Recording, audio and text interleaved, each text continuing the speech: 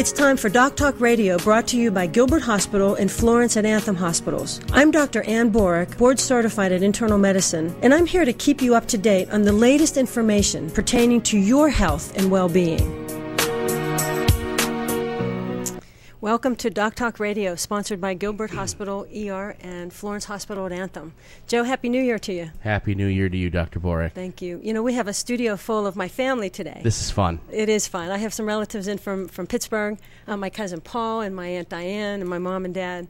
And uh, so it, will just be kind of uh, an interesting show. Nice. Open up the lines for, for questions, and, and we'll see how you know how the day goes. And for those of you that want to go ahead and call in, you can uh, reach us at 480 745 1033. And of course, we're going to be on the chat as well, so feel free to uh, shoot us a message up on the chat if you'd like, or just call in and we'd love to take care of you.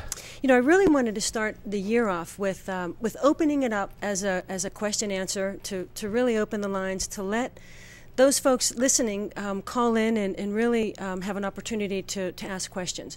You know, that's really what this show is about. We're exactly two days shy of one year old. Wow. Do you believe we've been doing this for a year? So we're going to have to hang out in two days and have some kind of big party I, I or think something. we should. I really think we should do like a marathon show. Do we have something. to invite the whole world, though? Wouldn't that be cool? We that could. would be a big party. It really would. That'd be neat. But you know, the idea really that uh, Gilbert Hospital and Florence Hospital at Anthem, um, what we set out to do was really as a community service to really open it up to to connect to the community and, and answer any questions, um, you know, address any concerns really about health and well-being. And what I want to really share with, with you, we'll start out earlier before we were talking about some new health tips that just came out. According to, uh, it was actually in the Journal of American Medicine, um, they came out with these top health tips, and I want to go through that because it's really a nice, succinct way to uh, to take it into the into the new year, 2013. Throw me a quick bone here. Is one of those going to be on my medical exam? It well might be. All yeah. right, all You right, know, just making sure. We are talking about Joe's going to be uh, tested and see. We're going to get you. We're going to get you certified here. Um, but you know the the message is really simple. I- I think that, and I think these tips are going to going to show that. Give sleep a chance, and everything we're going to talk about, we've talked about at one point. But we know that people who don't get a good night's sleep are at a higher risk of, of medical problems. Clear and simple. and I have to tell you, I did something the other night. I had the best sleep I've had in probably five to ten years. Mm-hmm. I started drinking tea. Okay. and I am not a tea drinker, Mm-hmm. but I'm really trying to get off diet soda. It's it's a it's really rough. right. Um, so I started drinking tea at night, and I bought this sleepy tea, chamomile tea, Chamomile tea. and I'll tell absolutely. Mm-hmm. you what, I slept like a rock, and I never ever do. I'm always up six eight times because I just I'm always thinking. Right, and you know that's important to know, and I think for our listeners to to really think about what it is you're drinking, even late afternoon, early evening. Um, for me, example, iced tea keeps me up all night, and and I have chamomile tea. And my family here, you know, just yesterday, last evening, I have a, a cup of uh, chamomile Oh, wow. tea because it really works. The message is that when you have the lack of sleep, when we don't get an adequate amount of sleep, what it does is it, it causes the body to to affect the sensitivity to insulin in the body. And there's studies now showing that people who don't get a good night's sleep, there's a higher incidence of depression, higher incidence of diabetes, and most commonly a higher incidence of obesity. People who don't sleep well have a hard time losing weight. And and that's a known fact. And I think moving into the new year, people listening out there, if you're setting goals for the new year, you know, exercise, weight loss, one of them should be a good night's sleep. Do whatever you need to do to prepare your space. Make sure that you have, you know, your own quiet space. Avoid the caffeine. Um, but you know, sleep is so important. I'll tell you, I have felt the last two days. I slept good last night too, and I, the last two days I have felt much more Mm-hmm. at peace and relaxed with myself to where I'm not snapping at Right. the kids and my wife and you know just going crazy. I, I'm you know feeling much more relaxed That's across great. the board. hmm And it's going to help with weight loss as well. People Right think on. you have to exercise, you got to watch what you eat, and you do, but sleep is part of that ingredient as well. Um, the second point that was brought out in this study was that people who drive long hours to go to work actually are at a higher risk of health problems. And I look at myself and I think, okay, I drive to, to Florence every day. According to this study, even people who are physically active, like myself, I work out, um, are, are at a higher incidence or a higher risk of having health problems when you are in the car for a longer period of time driving back and forth to work. So what does that tell us? Well, it tells us that we need to we need to rethink that. We need to, you know, exercise more when we are at work. For example, if you're driving and then you spend 8 hours in a in a chair behind a desk, that's not that's not good. Studies show that circulation problems, increased blood clot formation, high blood pressure, obviously obesity, diabetes, um, it all kind of lends to the same to the same thing, trying to stay healthy and preventing those things. What do people do for that, though? I mean, is there a, is, is there a tip like at work, get one of those things you can squeeze at lunchtime? I mean, you know, it, it's interesting because they have these little um, unicycles that they put under the desk. And more and more, we're finding that people have these little bicycles that they put under the desk. And while they're sitting there, like for example, if you were sitting there now, you can be pedaling. I'd be biking. And that's a really, really great thing to think about doing. Wow. Um, so, just, you know, again, another thought. One of the things that really struck me in this was cultivating kindness and humility. Now, that we're looking at the brain, we're looking at the baby boomers, we're looking at, you know, memory and memory and the onset of dementia and all of that. What they found in this study was that people who are kind, people who really, you know, cultivate a sense of, um, you know, positive thoughts and, and those kinds of things, have actually a, a healthier brain when it comes to looking at the brain and the function of the brain. And I thought that was really, really interesting. In fact, the recap of this study shows that, you know, just add one healthy thing and be humble, and moving into the new year, that's the recipe to really move into a healthier life in this 2013. So I, I think that's really interesting um, information to kind of pass out. Eating, obviously, is something that we've been talking about on our show. Not necessarily avoiding foods, but what can we do to eat to stay healthy? You know, I'm having a real you know, problem with that because I've really, rather than try to just go on some kind of diet, which has never really worked for me my whole life, I've been in great shape and in terrible shape and in great shape and terrible shape. Right. So I've been trying to cut things out, and and I've managed to cut out a lot of the the the fats and the mm-hmm. greasy stuff and all that. But then you end up going to these artificial sweeteners, and now I've been reading a lot about those, and it's kind of depressing me because a lot of them say that that's worse than eating the regular stuff. So it's like, great, I've just went from Mm-hmm. You know, the one thing, if there's one message that we can get out about eating and what to avoid and what to, not to avoid, if we can avoid the the high fructose corn syrup, high fructose corn syrup. If you look on, it, look, read the labels, look at it. It's an artificial, you know, fructose um, sweetener. If we can avoid that, basically what we would do is we would decrease the incidence of weight gain by like 45 percent it's amazing. And, and if you think about how this works, regular sugar, glucose, tends to in the body the, the mechanics in the body it makes us feel full. It, there's a trigger that tells the brain that tells us in the satiety center in the brain that makes us feel full. Fructose does exactly the opposite. It leaves the brain feeling like there's a craving. So the more fructose you eat the more your brain feels like it's hungry and it's a vicious cycle. Does this does this go for the same when you eat fruits that has fructose? No, natural fruits is, is totally so different. This totally is the different. high fructose gotcha. corn syrup. Um, that I think when we were talking to uh, this this past uh, probably within the last month or so, we had a rheumatologist on the show, mm-hmm. um, and high fructose corn syrup came up. There's a higher incidence of you know arthralgias and arthritic problems and gout, particularly gouty arthritis, is exacerbated by this high fructose corn syrup. So probably the, the one message that I would put out there for this new year is to read labels, and if you can just avoid that, boy, that would be a huge step in the right direction. And we're talking about even things like pancake syrup. Absolutely, so, that's so right. this is why then, and, and I never knew this, and I'm guessing this is why people now are going organic. Absolutely. To get rid of the high fructose corn syrup and mm-hmm. try to find things closer to tapping it right out of the tree. Exactly. Wow. You know, honey. I mean, the natural, you know, honey. That's what I'm eating in my tea. Some the, honey. The antibodies, nice. the protective effect for that um, is really, really beneficial. You know, there's a lot of allergies going on now. Um, we're seeing a lot of illness, and we were talking about, you know, in the clinic, we're seeing people who, you know, have these lingering upper respiratory infections that are going on for, you know, four or five weeks. But allergy is a big thing, and, and when it comes to honey, the message that I want to get out in terms of honey is that if you do have allergies, if you use honey that is harvested in the local area, the, the pollination comes from that local area, and what it does is it gives you the antibodies to fight the pollinations, the pollens in that area, so it helps to protect you against allergies in the area that you live in. Do you know the place that I get my animal food? The daughter of the guy that that runs the big mills, Mm-hmm. she has like a thousand beehives. Really? And that's all she does is she makes honey, and it's wonderful. That's where we get it. I'm gonna next time we go down, I'm gonna get you a nice big bottle of that. That's great. I mean, it's very, sure. very It's good. Tastes terrific too. It's great for people with asthma. Looks a little different.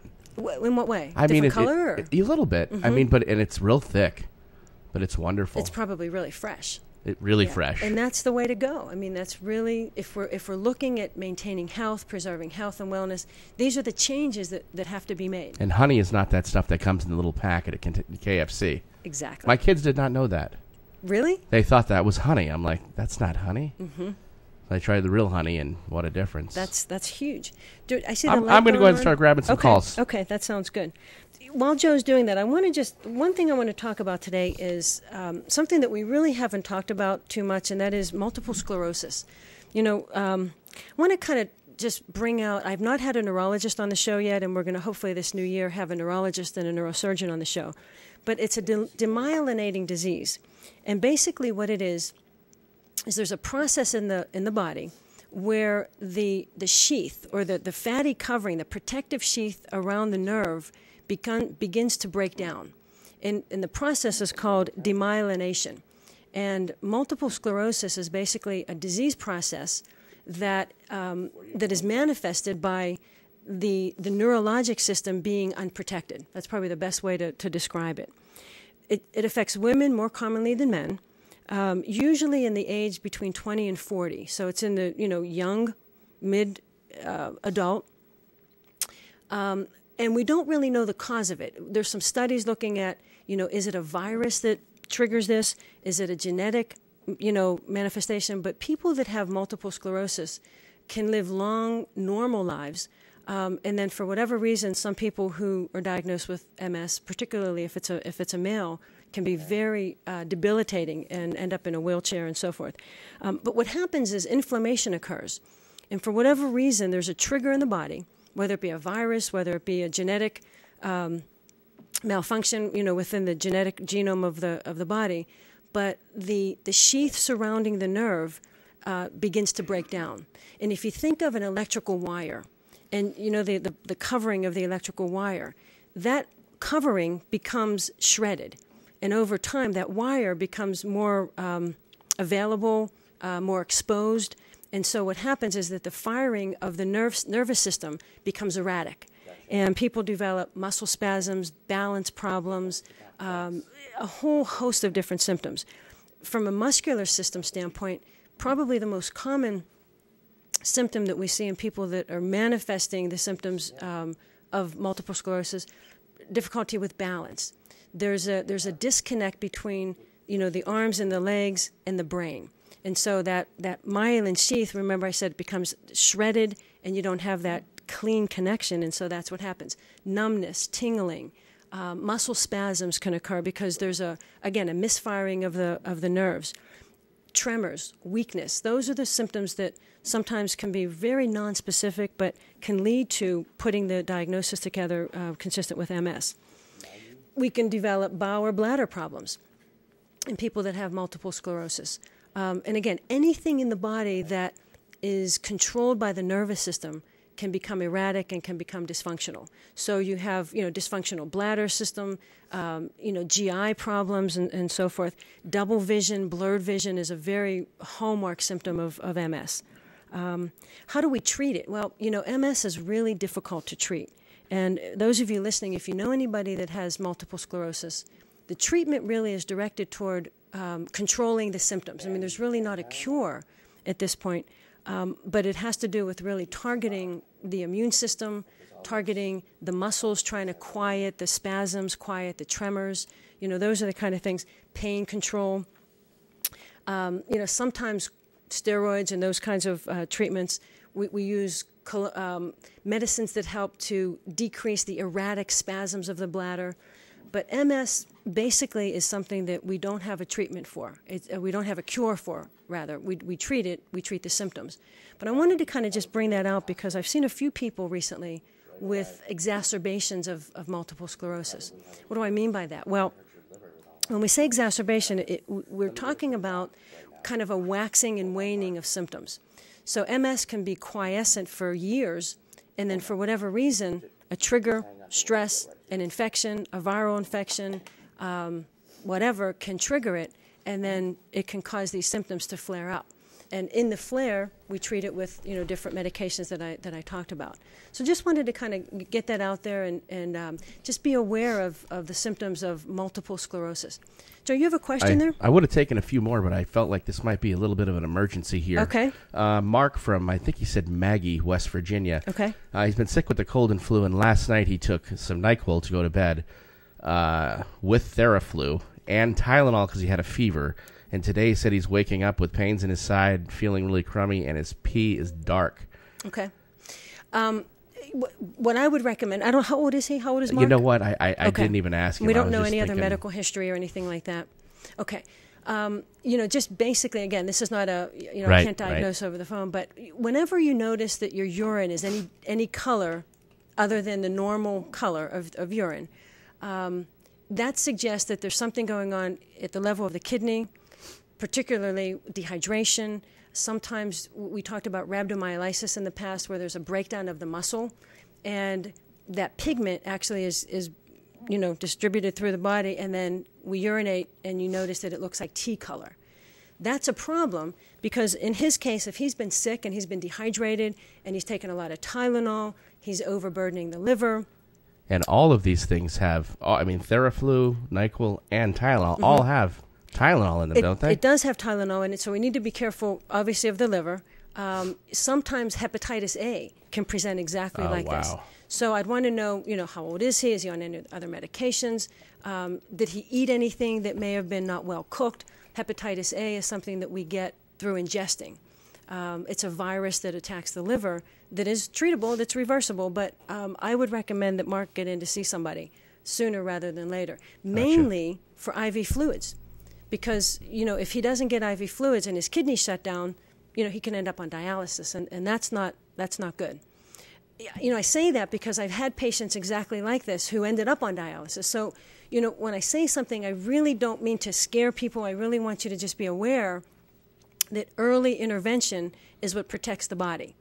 And, and that's why, if we can do anything in the show, it's really to bring an increased awareness um, to, to what's normal in the body. And if you notice something that's not quite right, get it checked because it can save you a whole lot in the end. and make sure when you're, you know, a lot of people are down and out this time of the year, but try not to mix all the different, read the labels. That's right. It, that's another very, very good point. You know, there's a lot of medicine that can be potentially harmful, even deadly, that we can get over the counter. You know, people think that just because you can get it over the counter that it's safe. Well, that's not true. Um, you know, people can take a handful of Tylenol, and that can be, you know, deadly to the liver, and end up and end up requiring a liver transplant, for example. You know, and we've seen that. Wow. So you know, please be careful the, I think the message now in this season of colds and flus and diarrhea and infection is to stay hydrated. And if there's any indication within 24 hours, if you can't keep fluid down or you're not getting enough and your urine starts turning very dark, get into an ER. Does And- diet soda hydrate you? actually, you know, it, it is a fluid. It's not the best hydrating. Um, and, and the reason I say that is because it has caffeine, and caffeine tends to cause constriction of the blood vessels. And so it's not a very good rehydrating fluid. I've never really looked. I wonder if there's a lot of sodium in diet. Sh- Um, diet there soda. is actually there is, and, and sodium is good. We, you know, Oh, it's it? important to have salt. W- When we talk about rehydrating the body, water is probably the, one of the best things. Um, but if you drink too much water and you don't have electrolytes with it, like sodium and you know the potassium and magnesium, what's going to happen is your body's not going to hold on to the fluid. That's why you know we recommend Pedialyte or we Oh, recommend you know Gatorade. Gatorade or not. Gatorade is really not even recommended because it has so much sugar in it. But some of the smart waters, some of the electrolyte waters, um, is really the best. And if you don't have that, what I tell my patients is get a bag of potato chips or pretzels. There's salt in it, and eat that. And you know, when you're drinking water, that's probably the best hydrating thing that you can do if you don't have access to Pedialyte or some of the other electrolyte uh, fluids. Well, we just we just helped out the uh, Lay's Potato Chip Foundation Hey, you across know, America. If there's a lot of kids listening today, huh? We, you know, we do that in the hospital. You know, uh, there's an order that I write sometimes that says liberalize salt. So, you know, we'll write it and, Wow. and we'll go in the back and, and bring a bag of potato chips into the hospital room. Um, you know, because if somebody is really, you know, dealing with dehydration and blood pressure issues and so forth, you know, obviously we can give them IV fluids, but you know, to liberalize salt is one way to to expand the vasculature. That's why when you think about it, people who have high blood pressure, Joe, we recommend staying away from salt, having a low sodium diet, because we don't want the blood pressure to go up and expand that volume, causing the pressure to be high. So dehydration hmm. is just the opposite. That's going to be on my test, that, I can tell. Uh, absolutely, it is. And, and that's a good, you know, that's something just to kind of keep in mind. Do you have another question there? Uh, we've got Bettina from Yuma.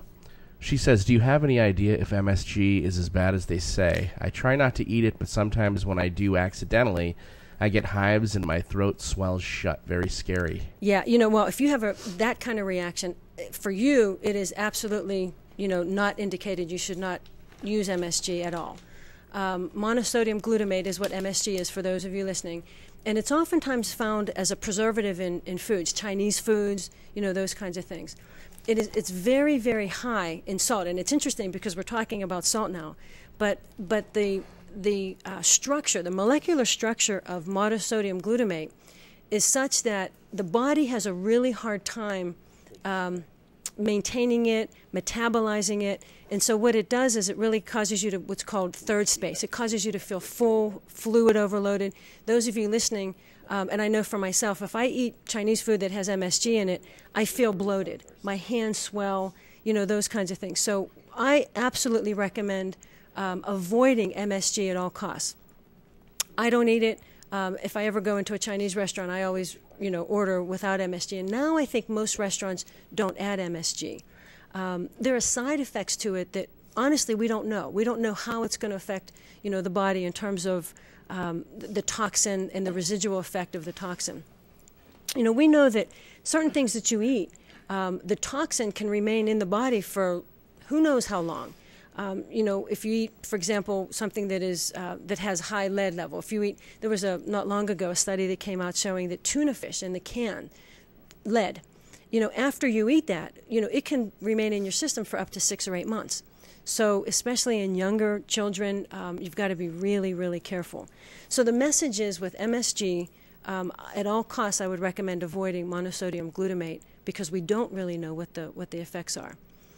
Um, you know, anybody that has an allergic reaction with hives, with swelling, with feeling that your throat is closing off, um, that can be life threatening.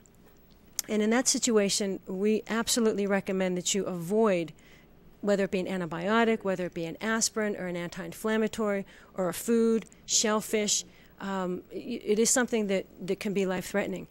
We do, however, in, in some cases, give our patients an EpiPen, which is an epinephrine injection that you can keep in your pocket, keep in your purse, so that if you do, for example, come exposed to something in food that, you know, that you're allergic to, um, an EpiPen would help to decrease that, um, that release of histamine, that release of uh, what's causing the throat to close down and, and, those kinds of things. While Joe's on the phone, I want to just kind of share with you um, just a, a, case that I had in the hospital just within the past week. Um, there's something called epiglottitis. And in the throat, just below where the, the vocal cords close, is, is called the epiglottis. And it's kind of like a shelf. And what happens is it automatically, when we swallow, um, to prevent food from going down into the into the air pipe, into the trachea, it kind of closes one pipe and it opens up the esophagus so that you can swallow food and it doesn't go into the lung. Well, sometimes there's an infection that can, something um, like a bacterial infection, sometimes a viral infection, can cause a swelling and inflammation of the epiglottis. It's the area just under the glottis area where that protection is from the vocal cord. And when that happens, it becomes very inflamed it becomes swollen, the infection affects the entire area, and it can cause swelling of the throat and the vocal cords actually to be dysfunctional.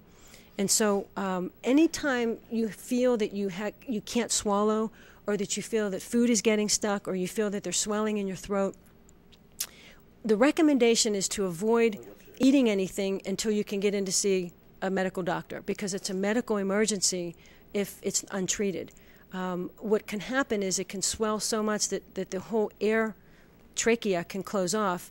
And, you know, if it closes for too long, you don't get oxygen and people can die. So it is something that is a medical emergency. So that again is something to take serious, um, you know, in that case. Um, I want to talk just a minute about ear infections because it kind of goes a little bit with the whole upper head and neck kind of area. In the ear, there are three parts of the ear. There's the canal, which, if you look in the ear, that's kind of what you see. It's the it's the canal that leads to the eardrum, and then from the eardrum, there's a space that is considered the middle ear, and then inside of that is the inner ear. So we're going to talk about what affects those three areas.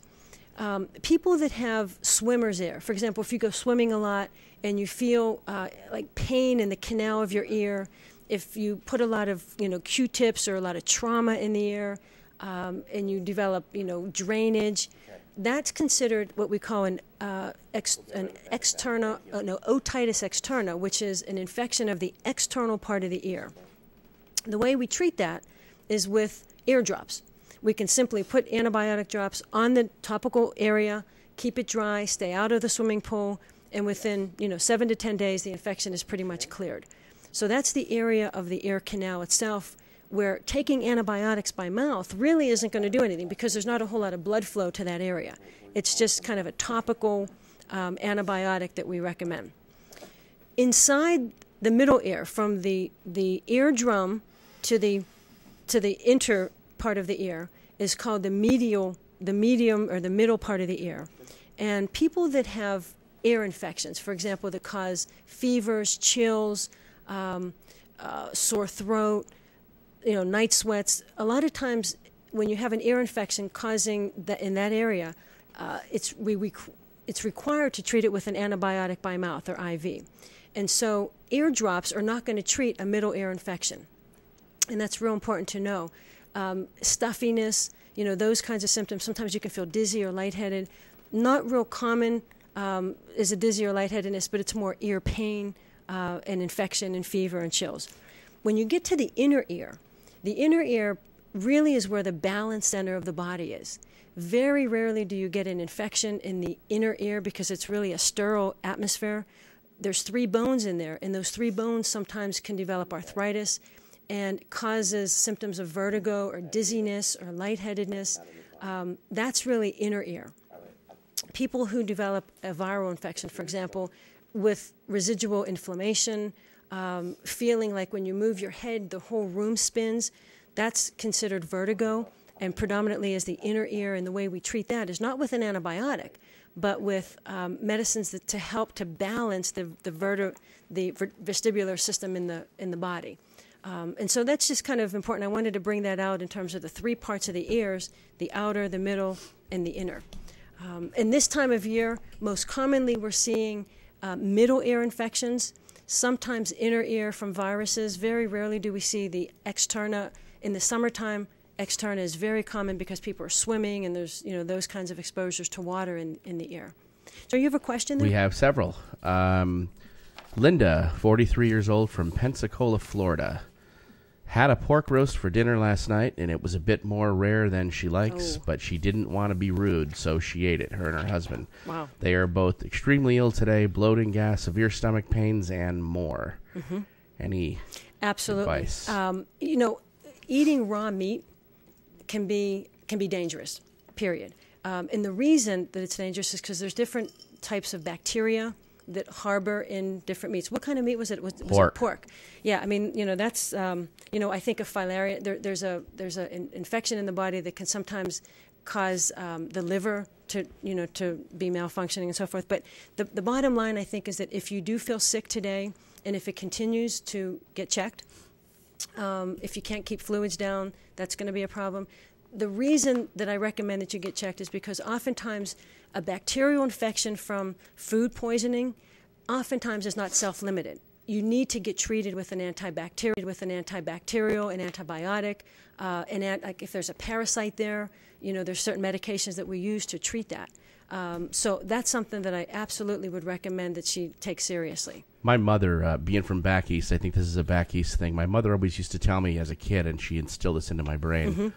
Make sure that you're, you know, don't eat bacon or make sure it's burnt because you're going to get trichinosis. Is that st- is well, that something you see? You do absolutely. is that You- that's a disease you have seen? you absolutely yes you wow, can. I yes. thought that was something that was No. like from the in pork particularly you know eh, beef i mean you know in the, the symptoms that we ask number one is there is there diarrhea is there blood in the diarrhea you know that would that would indicate a pretty severe colitis going on the body's response to this infection in the system you know when you think about it when you eat something the meat goes in the system in the digestive tract in the small intestine into the col- into the colon um, and if there's a bacteria there or a parasite, you know, which is what, what I would be concerned with, you know, with pork, um, it's there. It's in your system, and there's no way to really get it, you know, get it treated until you either diagnose it, get on the right medication. And the other thing that I would recommend, and this is a real important point, is people who have diarrhea that have a bacterial or an infectious diarrhea from something that they ate, we don't want to stop the diarrhea. You don't want to take Imodium, you don't want to stop it because you want to excrete it. You want to get that infection out. And that's very important to, to know. So in this case, I would recommend that she get treated for that, sure. that was really nice of you, Linda, not to be rude, but next time just say, hey, can you nuke, nuke this a little bit for me or Absolutely. something? Don't ever hesitate. You know, what you put in your body, uh, you know, can can affect you. So you've got to be careful what you eat. Hopefully it'll be okay, prepared. Mm-hmm. but uh, that could be a heck of a lesson to learn. Oof. Yep. Happy holidays, by the way. What else you got there? Um, Beth Ann, 59 years old, Chicago, Illinois. Uh, I have a cut on my foot that won't seem to heal.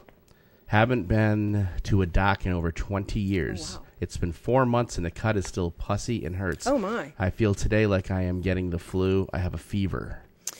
Um, well, let's talk about two different things here. First of all, uh, how old? I don't. How old is she? 59. 59. Okay. Um, you know, when we reach the age of 50, there are certain health maintenance things that, that really should be recommended.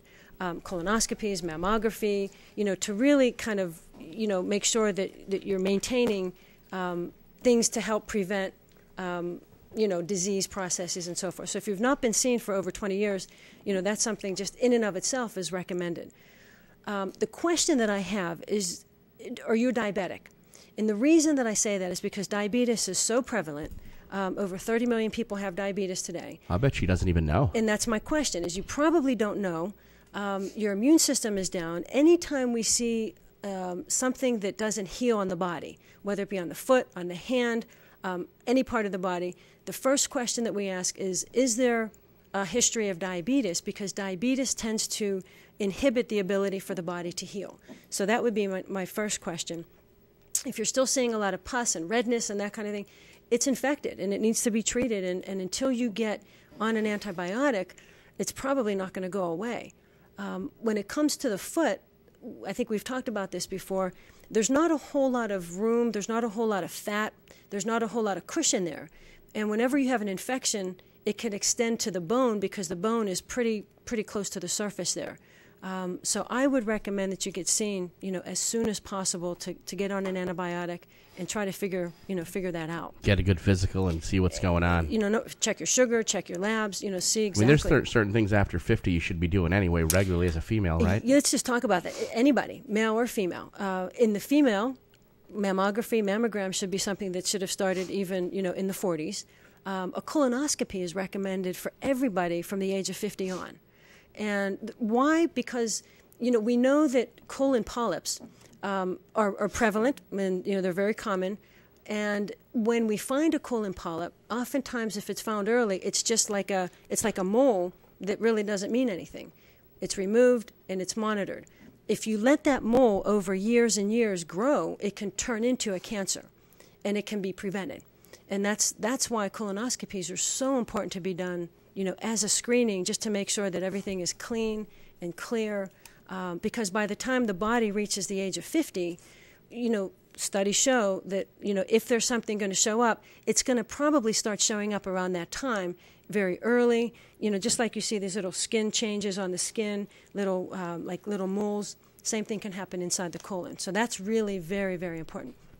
Today we recommend now uh, everybody be tested for the hepatitis, um, you know, virus, hepatitis B, hepatitis C, uh, especially in the baby boomer age, because we know that there's a prevalence of hepatitis that really is undiagnosed, and, and that's really very, very important. It's transmitted sexually, it's transmitted through blood, um, so you know you've got to be very careful. And that directly goes and affects the liver, correct? Absolutely, it does, and it causes the liver to eventually it can fail, but there's a higher incidence of liver cancer in people that have hepatitis as well.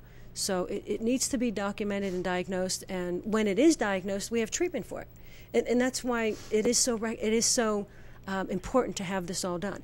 Diabetes, in this case, is probably the biggest thing that I would recommend um, for for our caller to get some blood work and make sure that you're not diabetic. Thank you, Beth Ann. Let me just kind of throw one more thing out. People, um, just some of the symptoms. You know, if people think, well, how do I know if I'm di- diabetic? You know, is it well, blood test is really the way to test it, but there are symptoms that you can have. Increased thirst. If you find yourself really, really thirsty, more than usual. Um, if you find that you're urinating a lot, you know, when you have high sugar in the body, it causes a like a for, like a diuresis, and so people get up and urinate like 10, 15, 20 times a day. Um, there's no burning associated with it. It's not an infection.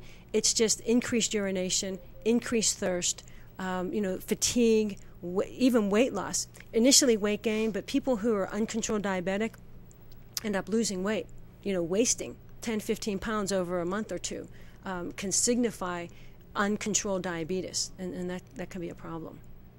Wow. All right, Bill, 35 from Atlanta. He spent two weeks in Mexico for the holidays, and he is sick as a dog right now with diarrhea and has not got off the toilet in a, in a week. Okay. Uh, you know, pushing a week, uh, dehydration. I mean, that's the number one thing that would be the reason to, to go to the ER. Make sure that you're not dehydrated, get some IV fluids. Um, diarrhea causes, you know, the loss of fluids, but the loss of electrolytes as well. Potassium, um, you know, your sodium, you know, all of the electrolytes can go down. Why is that important? Because when you have low potassium levels, low electrolytes, you're at a higher risk of developing irregular rhythms with the heart, and it can cause you know some problems from that standpoint. That's why it's so important to to make sure that the potassium level is where it should be. Um, but you know, going on a week, this is probably not self-limited. It's probably not just a virus. You may have a bacterial infection, parasite. You may have a yeah, colitis. The main things that we check for when people come in. Um, it, you know, and I see somebody, I would order stool cultures. So obviously, we would want to make sure that there's um, the ova and parasite, which is what you just said, salmonella, shigella, something called campylobacter, which is a which is a bacteria that affects the you know the jejunum or the small intestine area. Um, e. coli is something that needs to be you know looked at. Yersinia is another one. Those are the top bacteria that we look for. Um, and whenever diarrhea is affiliated with bloody diarrhea, it can be more toxic to the body. E. coli can be very toxic and it can cause a whole array of things to go wrong in the blood, where you develop what's called a coagulopathy, where the, the bleeding uh, coagulation factors you know, go out of whack and, and you end up bleeding internally, and it can be a real serious thing.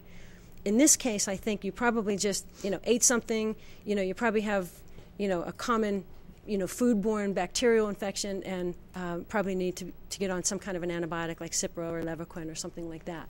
But I would definitely, a week, a week long, I would get in to see somebody. And remember, don't drink the water in Mexico. That's you know. Don't even brush your teeth. That's true. That's absolutely With the true. water. Coffee, tea. I mean, that's all made. So you've got to be careful. You, you know, you really have to be careful with. Uh, I recommend anybody traveling. There's something called traveler's diarrhea, and anybody that I see, you know, in the in the in the clinic in the hospital that's going, I give them an antibiotic to take with them. You know, it makes sense because if you do start developing, it's better to treat it sooner rather than later. I spent nine months after a trip deep into Mexico. I spent two weeks in Mexico on a fishing expedition. Did you really? I spent nine months when I got back fighting this incredible mm. parasite that I received from. I had um, I was staying in a fishing village with some people and they oh were locals. It was, it was incredible. Mm-hmm. It was an immersion thing I did, and they would cook the fish with the heads on it, you know, oh, and it was different, but you know, it was great. Right. Oh, I get so sick. I, I flies would land on him and everything, and oh but when I got back, it, they couldn't figure out what I, was wrong with me. It wasn't one of the regular common ones, and it ended up um, that the good, all the good bacteria from my body was gone. Oh wow! So I was on bee pollen and, acidophilus, and, acidophilus and, yeah. and fibercon pills, and right. I think that's what actually those things are actually what did it for me and got me back over. Right, and that's top. what I was going to say. The, the the pathophysiology when somebody has a just in general an infection in the in the GI system, like a bacterial infection, the body is an amazing machine. It really, really is, and it tends to try to protect itself.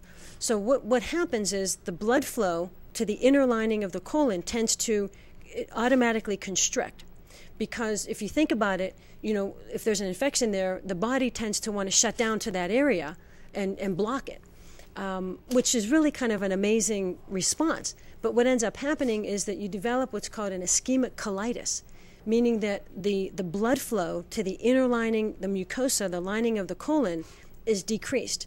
And so, over time, if you have this ischemic colitis over time, you're actually starving the inner lining of the colon from oxygen, from blood flow, and it can actually, you know, necrose and it can die.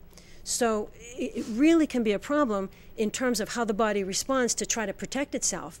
That's why it's so important to maintain hydration and to get treated, you know, adequately. Um, and, and, that's you know that's just important. Before I jump back on and take a few calls, I want to mention something that I read, and I may have read it on one of your blogs because I read so much, so many medical things mm-hmm. lately. You know, um, onions. Yes. A cut onion in a room. Was that something you put out? Yes, it uh, was. Okay. Mm-hmm. So obviously you know, that's a true thing. Yeah, but. I mean, let's talk about that. You know, it's amazing that first of all, onions are very healthy. Um, there's some studies looking at onions and the effect of helping with arthritis and helping just with bone health, osteoporosis, osteoarthritis, those kinds of things. So um, it just helps to increase calcium deposition, phosphorus into the bone, holding it there to strengthen the bone. Onions can do have been found to, to be beneficial in doing that. But what Joe's talking about is if you have um, an infection, if you have somebody that has pneumonia, um, a cold, diarrhea, whatever the, the case may be, the case may be, if you cut an onion and put it in the room, whatever, however it works, and I'm not sure how this really works in terms of you know what really happens at the level of the onion, but the onion tends to uh, remove certain pathogens from the air. It, it, just for whatever reason it removes it, and the onion turns black. And I don't know. Years ago, there's stories of that I've heard people um, you know, uh, just in, in, in, different homes and before they went into the hospital or whatever, that uh, these old wives' tales would be, you know, if somebody was sick, they would cut an onion, and the next day their family member would get better, but the onion would turn black, and evidently all the infection was kind of pulled out, you know, into the onion. That's, I think, what Joe was talking about. And there's some research and some literature showing that, yes, in fact, that, that does work. There's a hospital in the Midwest that I read about, and I can't recall the name of the hospital, but um, they actually use this technique, and they actually have onions where they, in, in isolation rooms, patients that are in isolation for whatever infection, respiratory infection, uh, C. diff, colitis, they actually, part of their therapy is to put an onion in the corner of the room because they found that that really does help to, to eradicate it. So, you know, for whatever that's worth, it's just something to, to kind of think about. You know, I just wanted to add something to yeah. that. You know, people that go to ball games mm-hmm. and you know eat the hot dogs with the onions, or even just Costco. You know, this mm-hmm. changed my entire life. Although I don't eat hot dogs, I, I have phobia. I don't like hot dogs too much. But just when I see somebody taking a scoop of those onions that are sitting in that room around all these people, is that am I are they eating like this massive bacteria burger in well, a hot dog now? That's a that's a great point. You know, and it should be in a closed container Oh you know, gosh. if it is in an open container, the, the possibility of it being contaminated is very real. You know, and if you're talking about going into Costco or going in these because public that's places, how they serve them, right? Yeah, probably not a good idea. Wow. Uh, yeah, I, you would never catch me eating any of that stuff. Um, but and I think for our listeners, it's just something to to really think about. N- know what you're putting in your body, um, because you know there's effects, there's side effects to it, and and I think that's a very very real concern. Um, while we're waiting for Joe to get this next call, I just want to bring up. Um, I was just talking about isolation and infection and so forth in the hospital. There's a new technique in, that is out now that really helps to um, clean the room. For example, when you go into the hospital, I don't know, but you know, one of my concerns always is to make sure that the hospital is as clean as it could be, so that if a patient comes in, they're not going to get an infection of somebody that was in the hospital in that room before so you know we have housekeeping come in and the, then the room is cleaned and, and all of that disinfected. Now they have this ultrasound, ultraviolet wand that um, that we actually bring into the room, and it, the, the mechanism is that it basically destroys any bacteria residual that's left in the space by this high ultrasonic um, beam, I guess it is, that that you know that yeah, I mean that basically cleans the bacteria potential that could be left you know behind even after housekeeping comes in. And I know that these things are available now for in-home use.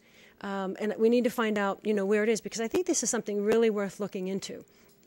In the hospital, there's something that we called nosocomial infection, and a nosocomial infection is something that I absolutely hate to see and we try to limit it and our numbers are very very you know positive and very good in terms of reducing the number of nosocomial infections in, in the hospital. And what that is is an infection that is gotten while you're in the hospital. So whether it be an infection of the lung whether it be you know a gi infection c. diff colitis um, we've got to be very, very cautious and careful. For example, let's say you come in, you know, with a with a hip fracture, you come in with chest pain, you know, we don't want you to be contaminated to the point where you end up picking up something and leaving the hospital sicker than when you came in.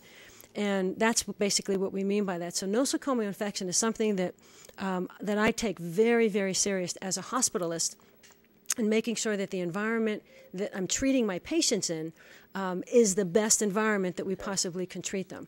And so, you know, we're moving to get this ultrasound, ultrasonic uh, device, and I'm not sure exactly what, what the name of it is, but it is something that you know that our nursing staff is, is looking into, and I think it's really something to uh, to think about.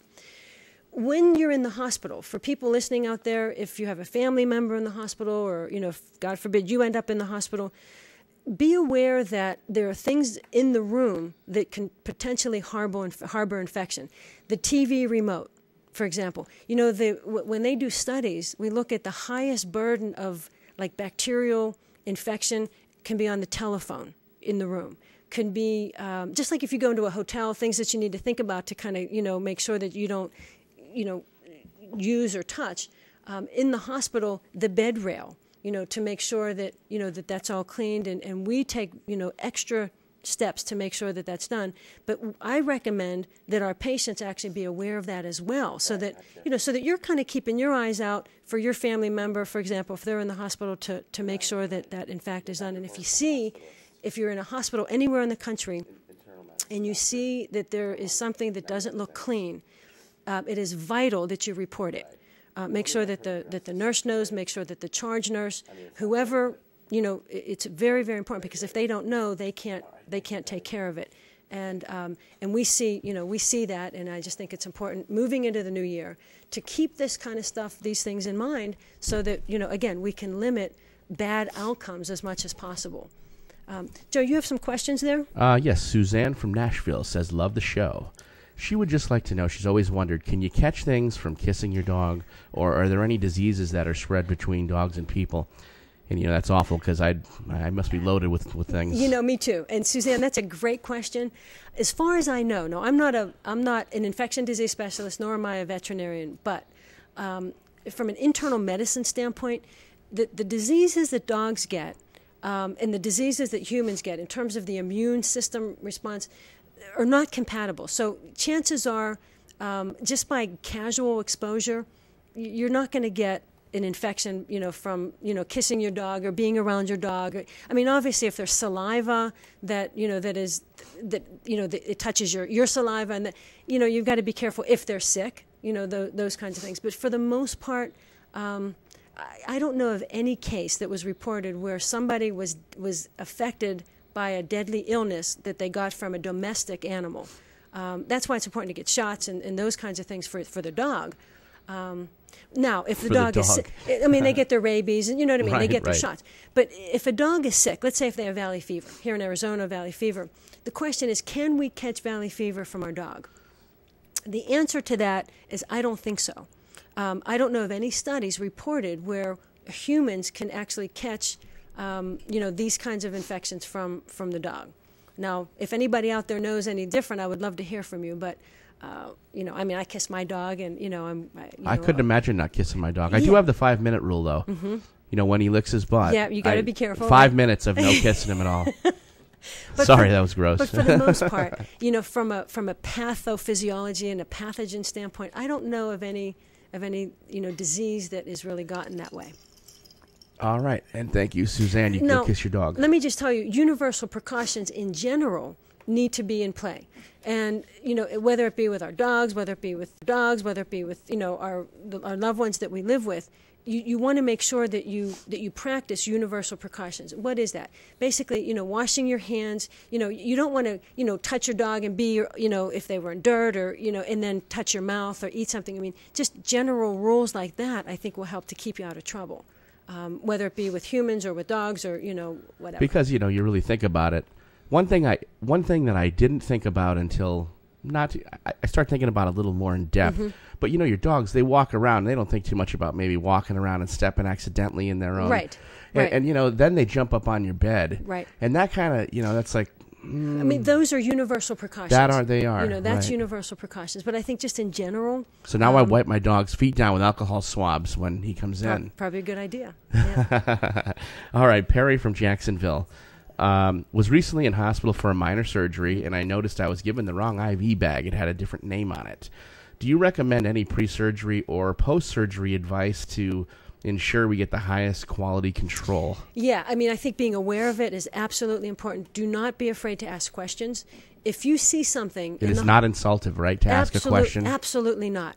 If you see something, you know, and you're the patient or your family member is a patient, and you don't understand it, um, you are really supposed to ask questions. I mean, you, you know, you're called to, on their behalf, not be afraid to ask a question. If you see something that doesn't quite look right, if there's a different name on the antibiotic, don't be afraid to ask.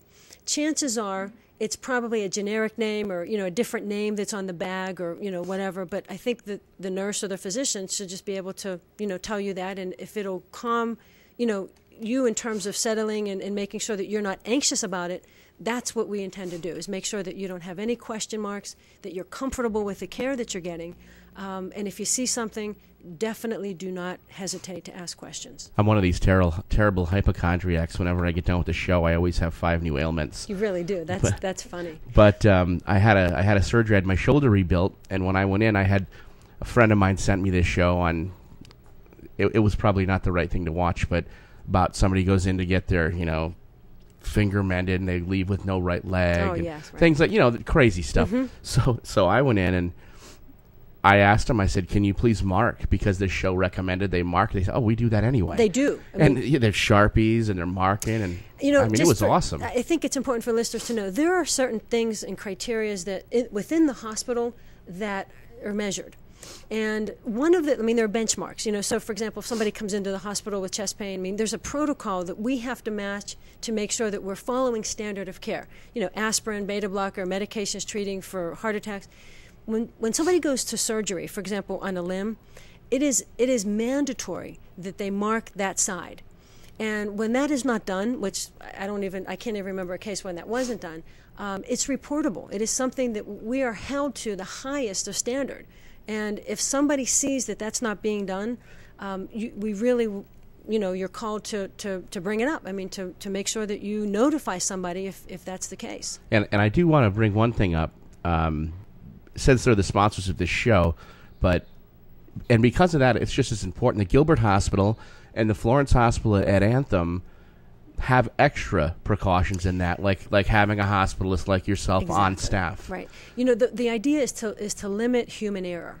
You know, to limit human error. I mean, And every, that's I mean that's got to be the most important thing. It really is in medication administration, um, name bans, making sure that you know the right person is being treated. We may have somebody in the hospital with the same name, you know.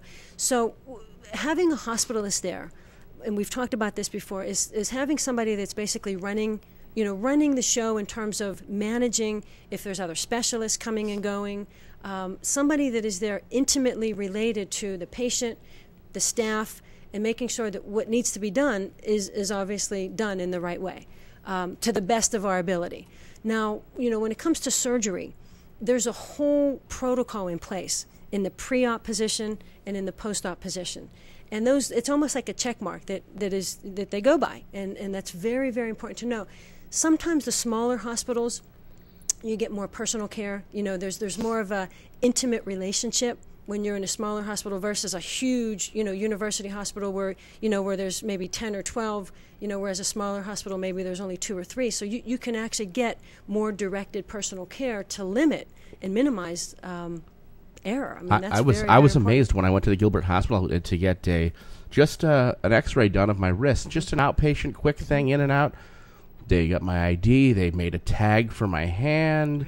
And they Um, double check it, They and then triple check triple it. That's it. right. Right, It I was mean- very. I felt I felt very good about that. in order to get medication out of the um, out of the you know the medication where they distribute where they get the pain meds from the pharmacy, um, you've got to not only put in the number, put in the name, but you've got to double it, and you've got to have somebody else double check you. So you know, giving narcotics, for example, you can't just go get it and distribute it. You've got to have somebody you know double. You're you're we're doing everything possible to minimize human error. And remember, guys, it's not because we're worried about you know people out of the hospital dealing narcotics. This is for your protection and your safety, so you're not taking the wrong pills or overdosing and double taking things. It's for your safety. Exactly. We, that's had a we've had a really really good year. Um, we have a quality um, quality committee, you know, quality assurance committee, and and um, and we've really had you know some some good reports come out from a surgical standpoint, from a nosocomial standpoint in terms of infection rates and those kinds of things, um, door to doc you know, getting in and, and getting treated in a timely manner. People that come in with a heart attack into our ER, the time that we can get them to the cath lab to treat that heart attack, less than 90 minutes, um, has been met consistently time and time again. So there are a lot of benchmarks that we're held accountable to. Plus, both hospitals have the helicopters right up Um, Right. on the roof, right there. You don't have to rely on a third party flying in from Phoenix. Absolutely, that's right. Um, and so, just getting back to that question, uh, Suzanne, that called with the IV, if you, it is important that we do um, treat with the pre-op antibiotic pre and post uh, surgery. So, if you saw that, and let's say you were on a regular antibiotic that was maybe given to you for a urinary infection or whatever, and you see a different name, oftentimes that's part of the protocol for the surgical intervention you know, preoperatively and postoperatively. So um, there are reasons that we do certain things uh, to follow protocol. So I would just ask if you have questions in a, in a specific way. Fantastic. Do you have any other questions, Joe? We still have callers coming in. Okay. Um, you want me to take a couple more? Yeah, we have like three minutes left. Why All don't right, you? let's see why if I can't go grab ahead and- another one. Okay, that sounds good. You know, I just want to. Uh, we were talking about nutrition and vitamin B12. There's deficiencies can lead to certain uh, medical conditions, and B12 is one of those that I want to just talk about for for a minute. Um, there are certain vitamins that it's impossible to overdose on. For example, vitamin B, vitamin C, those are the water soluble vitamins. And this time of the year, um, with you know the cold and flu, we recommend really kind of beefing up on vitamin C to improve the immune system and beef it up. Vitamin B12, in particular, is one of those vitamins that um, people can be lacking in and not know it. And, and how vitamin B12 deficiency presents is you can just feel tired, feel fatigued. Um, people that have had, for example, gastric bypass surgery, they're at a high risk of, of not being able to absorb vitamin B12 from the food, from you know, and so oftentimes they um, they require vitamin B12 shots. So just something to kind of keep in mind in terms of deficiencies, um, thyroid problems, underactive thyroid. Sometimes the symptoms you can have um, numbness, tingling, those symptoms that, that go along with the underactive thyroid that mimic um, B12 deficiency. So the, the, the two kind of go hand in hand, and we just want to kind of throw that out there so that moving into the new year, um, if you've not you know had your physical and you have some symptoms and so forth, you know a very easy fix. Um, but if you don't get it checked out, you're not gonna you're not gonna know, and and you know it could really make a difference in, in your energy level and, and in your life. That was a nice call from uh, Janet and friends at uh, Fiesta Mall Dillards. They Oh, said wow. Happy New Year. Great oh, that's show. neat. Very good. Happy New Year to you. That's that's great, Janet. Right. Thank you. Thanks for calling. Anybody else, Joe? You have there? I, I think we're caught up Okay. right now. Um, the last thing I want to talk about today, before before we close, is something called radiculopathy. We were talking a little bit about nerves and numbness and tingling. There's something that is called radiculopathy, and you know it kind of sounds ridiculous, but but what it is basically is um, if you have an impingement on a nerve, whether it be in your neck, in your back, and you feel pain going down your arm or down your leg in a way that feels like an electrical um, you know, like an electric impulse or an electricity, or like, you know, that's kind of what it feels like. It, that basically is nerve pain. And oftentimes, you know, we've had people come in with, you know, shoulder pain or arm pain and really thinking that the problem was in the arm when in fact it stems from the neck. So sometimes arthritis in the cervical spine can cause an impingement on the nerve that is responsible for you know extending all the way down the, the arm. So if you have like thumb pain or numbness or tingling or discomfort in the forearm oftentimes it's not at the site of the forearm it's actually stemming from the neck. And that's really very very important to, to know. One way we treat that is with vitamin b complex vitamin b6 vitamin b12 because what that does is it helps to regenerate that nerve sheath. Remember earlier on today's show we were talking about multiple sclerosis and the sheath, the anatomy of it has nothing to do with MS, but the anatomy of it is that B6, B12 helps to regenerate and strengthen that, that covering on the nerve. And it helps it to fire more effectively um, and protect the nerve. If you have an impingement on a nerve over time, if you just think about pressure, consistent pressure, it's going to cause that nerve to almost deaden. And over time, that nerve may not regenerate. So um, just to be aware of if you know if, if it is something that you know people experience, oftentimes it's not the site of the hand or the foot. It's actually traced back up to the origin of where the nerve is coming out of the spinal column. Sciatica is an example. Carpal tunnel is an example. Um, you know, cervical what we call spondylo, spondylolisthesis, which is kind of a little arthritic growth of the uh, of the spinal um, bony formation around the area where the nerve comes out. Doesn't take much to put something in there to send stuff all over the place. It doesn't. It doesn't. So just be aware of that, and um, and exercise is really very important to strengthen muscles. Um, you know, to help with that neuropathic type pain.